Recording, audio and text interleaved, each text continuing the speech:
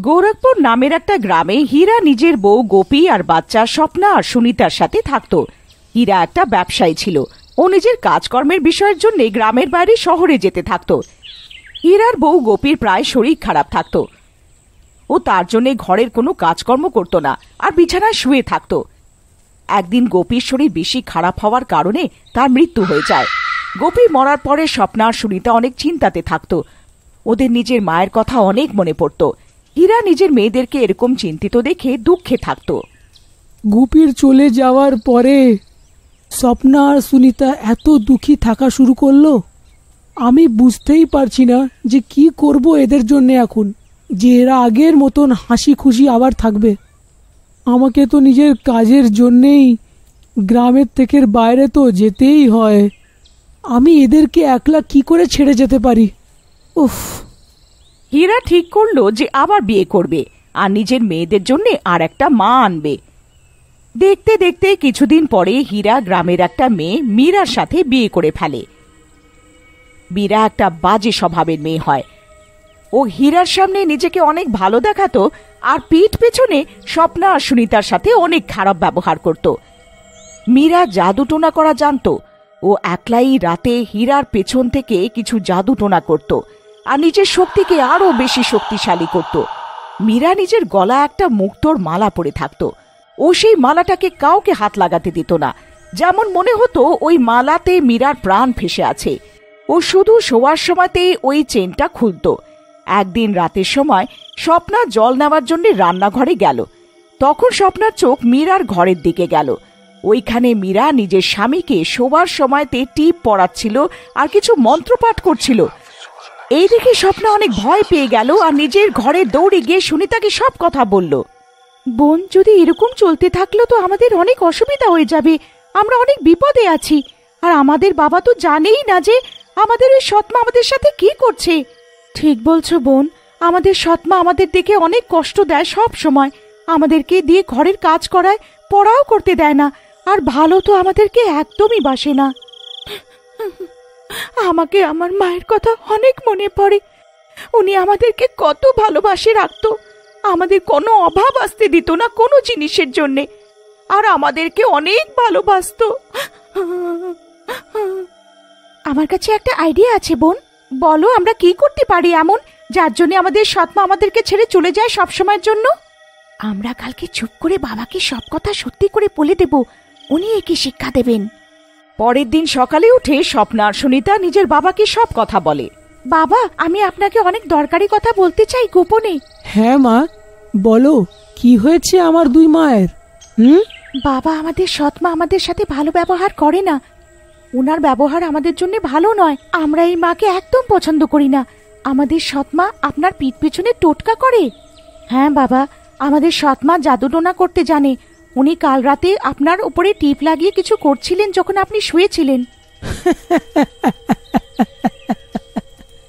আরে মা এরকম কিচ্ছু হবে না। তুমি এখন এইসব কথার জন্য অনেক ছোট আছো। তোমাদের কি এইসব ব্যাপারে একদম ঢোকা উচিত নয় হুম? স্বপ্না আর সুনিতা নিজের বাবার কথা শুনে অনেক কাঁদলো। আরে বোন আমাদের কথা তো বাবা একদমই মানলো না। যদি উনি আমাদের কথা মেনে যেতেন আর আমাদের বুঝতেন হ্যাঁ আমাদের মাই অনেক ভালো ছিল। উনি আমাদেরকে অনেক ভালোবাসতেন আর ওনার জায়গা কেউ নিতে পারবে না। কিছুদিন কেটে যাওয়ার পরে একদিন আবার মীরা রাতে ঘর থেকে লুকিয়ে বেরোলো। মীরাকে বাড়ি যেতে দেখে সুনিতা দেখে ফেলল। আরে বোন, এই দেখো, আমাদের সৎমা এই সময় রাতে কোথাও বাইরে যাচ্ছে। চলো বোন, আজকে এর পেছনে যাই। আমরা দেখে যে কোথায় যাই এই সময়। মাঝরাতে স্বপ্না আর সুনিতা লুকিয়ে মীরার পেছনে গেল। মীরা ওদের ঘরের বাইরে যে বটগাছ ছিল, ও ওইখানে যাচ্ছিল। এখনই রাতে বটগাছের কাছে যাওয়ার কি দরকার পড়ে গেল? দেখি কি করে ওখানে গিয়ে। মীরা বটগাছের কাছে পৌঁছে যায় আর ওখানে গিয়ে একটা ভয়ঙ্কর শাকচুন্নির রূপ নিয়ে ফেলে।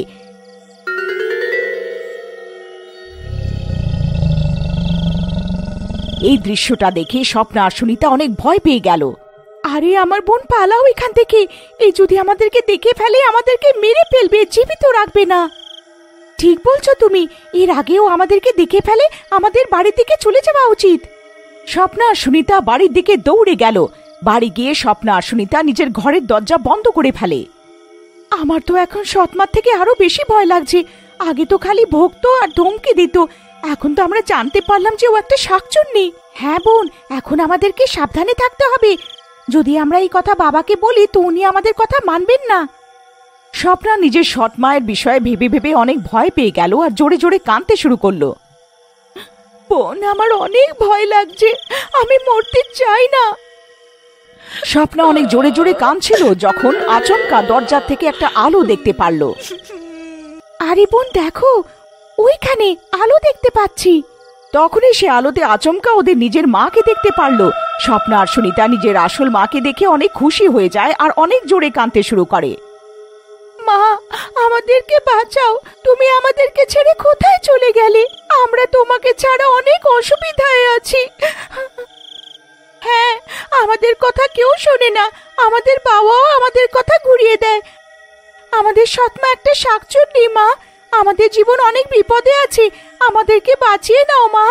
তোমরা চিন্তা করো না, আমার ভালো বাচ্চারা। আমি এখানে তোমাদের সাহায্য করার জন্যই এসেছি। কিন্তু কেমন করে, মা? তুমি আমাদেরকে কেমন করে সাহায্য করবে?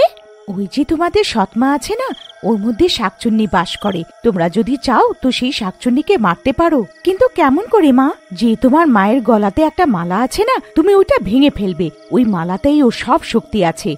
ওই শাকচুন্নির সব শক্তি ওর মধ্যে আছে। যেমনই ওই মালাটা তোমার মা গলা থেকে খুলে রাখবে, তুমি লুকিয়ে ওটা ভেঙে দেবে। ওই শাকচুন্নি নিজের থেকেই মরে যাবে। ঠিক আছে মা, ঠিক আছে, আমরা এমনই করব। স্বপ্না সুনিতা নিজের মা ওদেরকে নিজের সৎ মায়ের ভেতরে ওই শাকচুন্নিকে মারার উপায় বলল আর অদৃশ্য হয়ে গেল। পরের রাতে যখন মীরা শোয়ার জন্য গেল, তখনও নিজের মালাটাকে খুলে নিজের আলমারিতে রেখে দেয়। বোন, আমাদের সৎমা শাকচুন্নি ওই মালাটা আলমারিতে রেখেছে। ঠিক আছে, ও শুয়ে পড়ুক। তারপর আমরা ওই মালাটাকে আলমারি থেকে বার করব আর ভেঙে ফেলব। মা আমাদের এমনই বলেছিল। ঠিক বলছো, বোন।